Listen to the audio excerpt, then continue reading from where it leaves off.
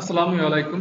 আজকে আমরা ছেচল্লিশ নম্বর প্রবলেম সলভ করব। ছেচল্লিশ নম্বর প্রবলেমে বলা হয়েছে গেম টাইম এখানে গেম টাইমের প্রবলেমে বলা হয়েছে যে read start time and end time এখানে দুইটা টাইম ইনপুট হিসাবে নিতে হবে মানে ইন্টারজার টাইপের ভ্যালু ইনপুট হিসাবে নিতে হবে এবং এখানে প্রথম ভ্যালুটা হচ্ছে স্টার্ট টাইম এবং হচ্ছে যে লাস্টের ভ্যালুটা হচ্ছে এন্ড টাইম এটা হচ্ছে যে ইন আওয়ারে দেওয়া আছে, যে এটা ঘন্টাতে প্রকাশ করা আছে।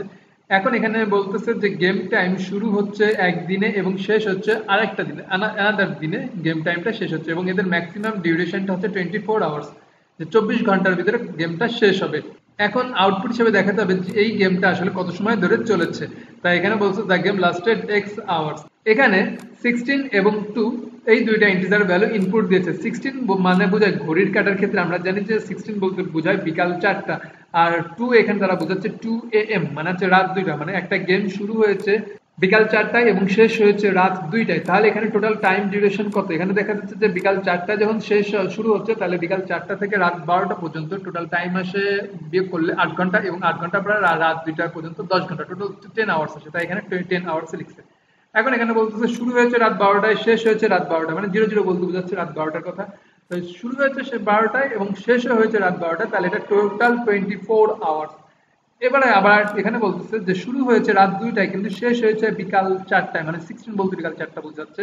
তো এখন যদি এটা দুইটা থেকে বিকাল, দুপুর বারোটা পর্যন্ত তাহলে বিয়োগ করলে আসে দশ ঘণ্টা দশ ঘণ্টা, আর এখানে বিকাল চারটা পর্যন্ত আর চার ঘণ্টা, তাহলে টোটাল আসে চোদ্দ ঘণ্টা। তাই এখানে টোয়েন্টি ফোরটিন আওয়ার্স কথাটা লিখেছে। এখন আমরা কোড ব্লকসে চলে যাই এই প্রবলেমটা সলভ করার জন্য।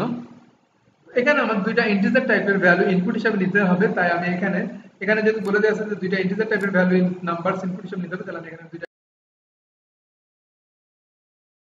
আমাদের স্ক্যানের যে দুইটা ভেরিয়েবলের মান ইনপুট হিসাবে গ্রহণ করা হয়ে গেছে, এখন আমরা এবার চেক করব যে এ এবং বি এর ভ্যালু এর ভিতরে কোনটা বড় এবং কোনটা ছোট। এখানে আমাদের একবার সিক্সটিন দিচ্ছে, একবার টু ইনপুট দিচ্ছে। তো এই ক্ষেত্রে আমাদেরকে চেক করতে হবে যে কোনটা বড় এবং কোনটা ছোট। এখন আমরা ইফ কন্ডিশন লিখব। যদি এর ভ্যালুটা বি এর থেকে যদি বড় হয়ে যায়, তাহলে আমরা বি এর সাথে টোয়েন্টি ফোর যোগ করে দিব। তারপরে এখানে যে আউটপুটের কথাটা বলা আছে, এই আউটপুটটা আমরা এখান থেকে কপি করে নিয়ে আসতেছি। বহু এই ভ্যালুটাকে কপি করে নিয়ে আসতেছি। কপি করে এখানে আমরা প্রিন্ট এফ দিয়ে লিখে নিচ্ছি। এবং এই এক্সের জায়গায় আমাদেরকে লিখতে হবে পার্সেন্টেজ ডি এবং আমরা এখানে বিয়োগ করব হচ্ছে যে বি মাইনাস এ এর ভ্যালুটা আমরা এখান থেকে বিয়োগ করে নেব। কেন আমরা এখানে চব্বিশ এক্সট্রা যোগ করে নিচ্ছি? কারণ হচ্ছে যে আমাদের এখানে যদি এর ভ্যালুটা যদি বড় হয়ে যায়, তাহলে এটা তো আমার রাত দুইটার দিকে শেষ হচ্ছে। তাহলে এই দুইটার সাথে এর সাথে যদি আমি যদি আরও চব্বিশ যোগ করে দিই, তাহলে এটার মান আসে চব্বিশ আর দুই যোগ করলে আসে ছাব্বিশ।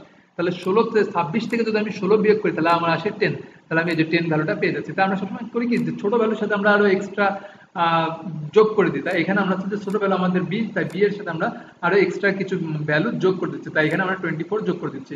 তো ইফ আমরা এটা চেক করে নিলাম, যদি আমাদের দুইটা ভ্যালুই সমান হয়ে যায়, তাহলে সেক্ষেত্রে আমার এখানে যে আউটপুটের কথাটা বলা আছে, যেটা লিখে নিয়ে আসছি, সেটা আবার কপি করে নিচ্ছি। এটা আমরা কপি করে নিচ্ছি। এটা লেখা হয়ে গেছে।